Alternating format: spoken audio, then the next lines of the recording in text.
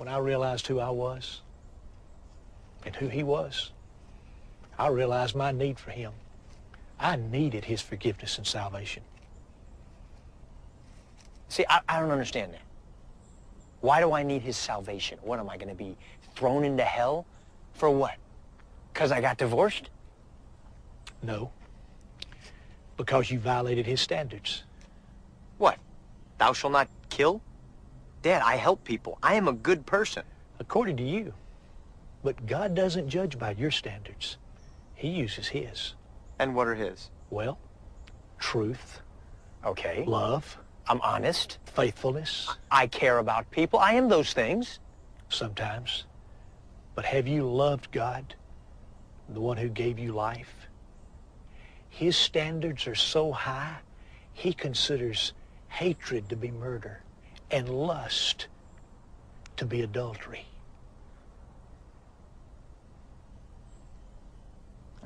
Dad, what about all the good I've done? Son, saving someone from a fire does not make you right with God. You've broken his commandments. And one day you'll answer to him for that. Caleb, if I were to ask you why you're so frustrated with Catherine, what would you say?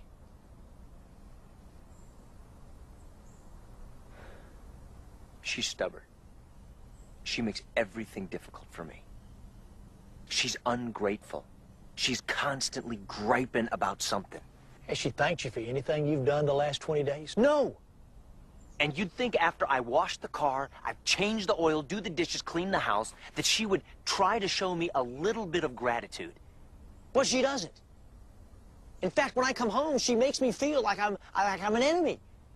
I'm not even welcome in my own home, Dad. That is what really ticks me off. Dad, for the last three weeks, I have bent over backwards for her. I have tried to demonstrate that I still care about this relationship. I bought her flowers. which she threw away. I have taken her insults and her sarcasm, But last night was it. I made dinner for her. I did everything I could to demonstrate that I care about her, to show value for her, and she spat in my face. She does not deserve this, Dad. I am not doing it anymore. How am I supposed to show love to somebody over and over and over who constantly rejects me?